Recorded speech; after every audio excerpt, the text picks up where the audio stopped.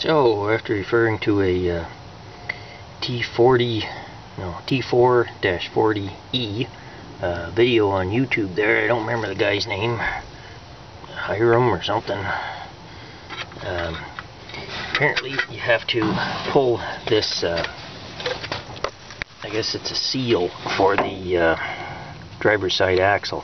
Got to pull it off of there and uh, this one here I had two uh, two foot long pry bars on it it didn't want to come off so I ended up uh, heating it up with a brazing torch and uh, then it decided it could pry off and I tried to hang up on the snap ring but eventually it did come off so so now I guess it's uh, and I also had to take the o-ring off the far side of this shaft here because it was hanging up just like he said on the video and lo and behold can now get our chain out.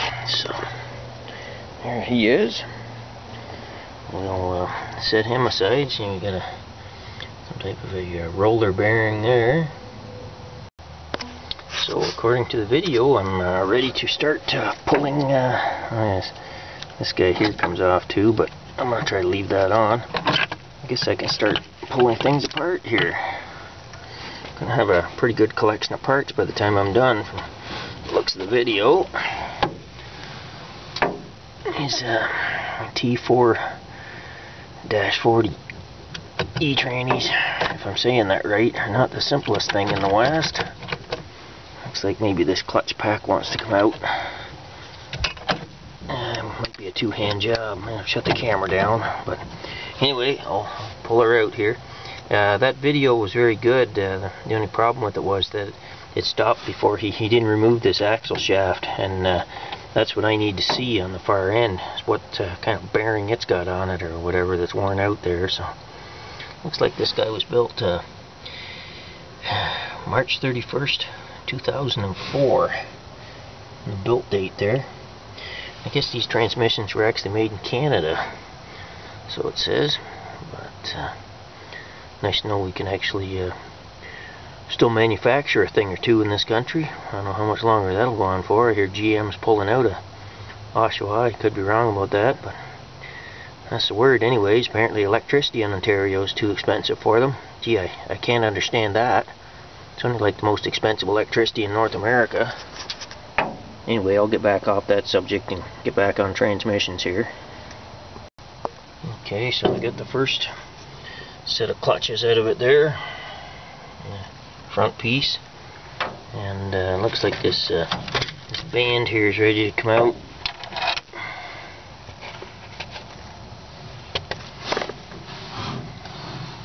Depending on the light there doesn't look too bad a shape I guess. Not like it's burnt to a crisp or anything. Continuing on here. The next big lump out there. You, uh, Gotta watch these transmissions. They're uh, a little bit hungry there. So now I got a gear tooth spline shaped cut in my hand there. About uh, six of them. It caught me between the end of this and uh, the other spline there. I guess there's like a dip in it. And it wasn't coming. And then all of a sudden she, she decided to move. And it, it bit me.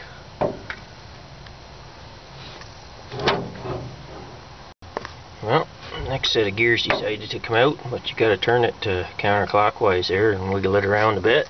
It uh, worked its way out there. Yeah, got to watch these sharp surfaces there on, uh, on these uh, things there. The trainee's got a lot of a lot of sharp surfaces in them there.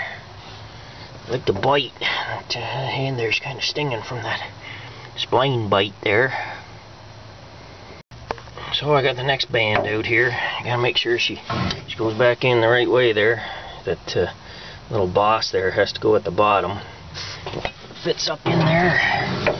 And uh, uh, you get that little finger sticking out there on the right hand side. That's part of what holds it. Like I say, I don't know if I'll be putting this thing back together or not, but I'm just trying to document it here in case I decide to. I'll have to put it back together to a certain extent, otherwise I'll have boxes and boxes of parts.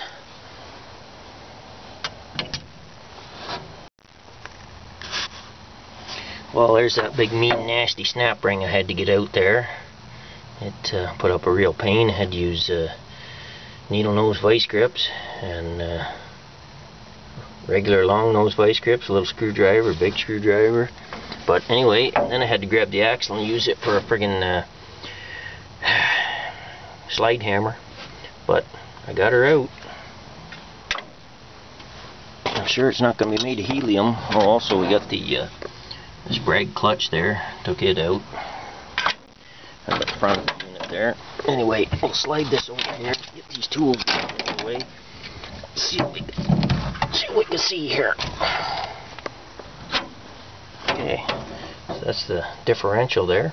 I think that's a speed sensor on the end. That's probably the spline. We got left in there? Nothing. Some type of washer. So, very interesting. So, I wonder what's worn out in my tranny then.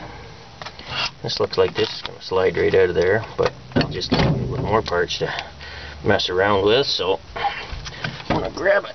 Thing's not made of helium, I'll tell you that. Big solid lump of steel. So, I'm not too impressed with that. I guess it must be whatever bearing or bushing is on the outside of that. There's more. That, uh, yeah, there's a bushing in the transmission. Nice. Go around the other end here and see if we can see it. Oh yeah, there it is. Little thing about 3 eighths of an inch wide. That's all that holds your axle. If I can get it there, there it is. So the GM uh, mechanic might have told me right that uh, it might be removable from the outside, but I'd like to see the special tool you'd need to do it. Like unobtainium. That's uh, like a brass bushing there. Thin wall, I'd say not much over a 16th inch.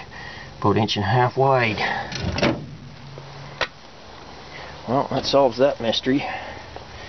And uh, so this surface here on the end is what uh, guides your uh, axle. And the splines inside of it there. So that bushing there is all that uh, guides the axle. So I can see wear on the outside of it there, not not excessive, but it's like I say, it's only about 3 eighths of an inch wide. You almost think you need a little bit more than that to hold an axle, wouldn't you? Maybe that's why it wears out. Anyway, that's the that's the unit there. Pretty well gutted it. Inside there, we still got a. What's that? I guess that's a ring gear up in there. Looks like the there's like a washer or something lying down up in there too. So now I got a whole bunch of pieces to put back together here so that my my trailer isn't uh, full of uh, transmission parts. Wouldn't want it to like start raining or something right now, would we? Anyway, I'm not thinking I'm going to be putting that uh, snap ring back in right now. Uh, it's not like I'm going to be using this transmission anyway, so drive chain there and valve body pieces. And lots of fun. I guess I could have left the two of them together, but uh, I should have watched uh, what's his name's video there on YouTube about the was it 4T 40E uh, transmission. It's a Cavalier, Saturn, L series, whatever. Lots of lots of GM cars from the 2000 era. Well, glad I got that out and solved that mystery, but remains to be seen if it can be repaired without uh, tearing the tranny out of the car and gutting it like this. Just trying to get a little better lighting on this bushing here. Perhaps you can see a little better now. So it's only about 3 eighths of an inch long, about an inch and a half diameter, and I wouldn't give her much more than a 16th inch thick. Just a brass or bronze bushing and that's what uh, guides your passenger side axle personally I, uh, I think a little more length would have been uh, beneficial so there's the bearing on the passenger side you can see it there you say it's only about 3 eighths of an inch wide bushing. A bushing, I guess. But, so that's the culprit. And there's the part that rides on it. This this surface here. You've also got this uh, this uh, roller thrust bearing on there, and that's the, the differential. I guess it's the speed sensor ring. So basically, this old bearing surface here rides in that little tiny bushing, and that's all that guides your passenger side axle. On uh, this bearing surface here.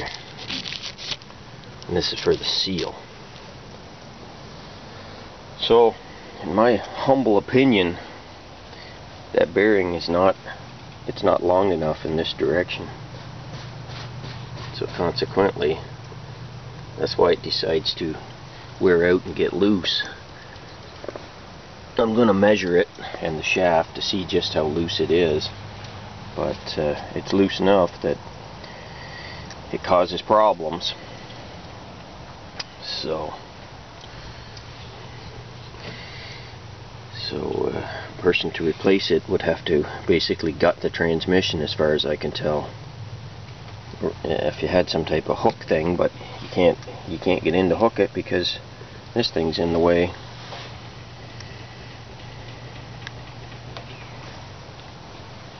But I guess in all fairness, it did last pushing 200,000 miles. Not in all cases though.